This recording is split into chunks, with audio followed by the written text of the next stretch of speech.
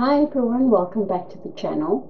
In today's example, we're going to be looking at using direct integration in order to solve a first order differential equation. So here we have our first order differential equation. The dependent variable is y and the independent variable is theta. Now the way that you know you need to use direct integration here is if you need to cover the derivative, say with your hand when you're writing it on a piece of paper and you look at the rest of the equation, you ask yourself which are the variables that are in the rest of the equation. In this case here, it is only theta, which is your independent variable. And that means you can just use direct integration in order to solve.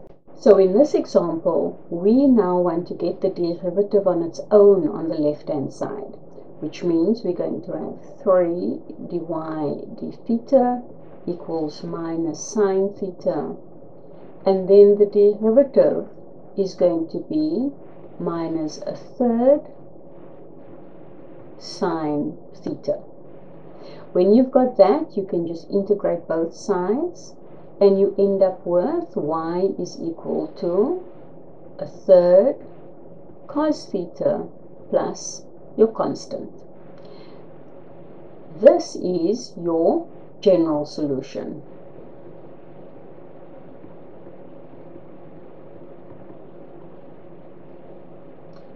And you can then find the particular solution if you are given an initial condition, which we are in this case here. So we know that when theta is pi over 3, our y value is going to be 2 over 3. So we can then substitute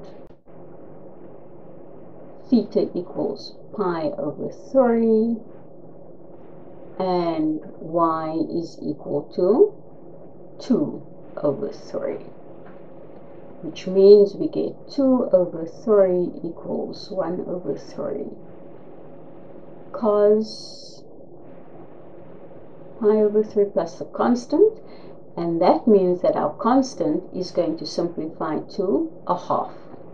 And our particular solution is going to be a third cos theta plus a half. As easy as that. I hope you found the video useful. I will see you in another video for more examples. Bye.